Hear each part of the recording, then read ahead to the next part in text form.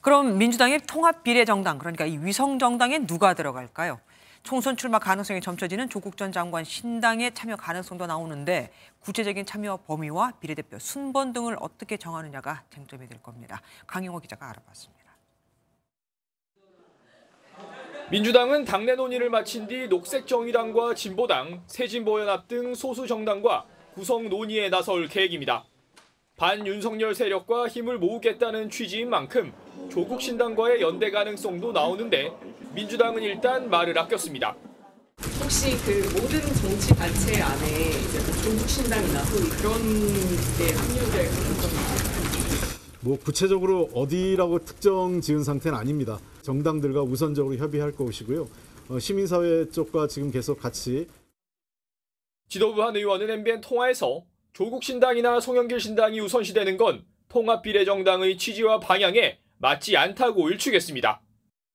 비례대표 순번의 배치 역시 주요 논의 대상입니다. 지난 총선에선 비례대표 1에서 10번을 시민사회 추천목과 용해인 조정훈 의원으로 배치했고 자당 추천몫은 후순위로 몰았습니다. 먼저 당선될 수 있는 어, 우선순위를 어, 민주개혁 세력들에게 어, 내어주는 게 민주당의 맏형으로서의 책임이 아닐까. 다만 일각에선 이재명 대표가 맏형으로서의 책임과 함께 권한을 언급한 만큼 민주당을 앞번호에 배치할 수도 있다는 해석이 나옵니다.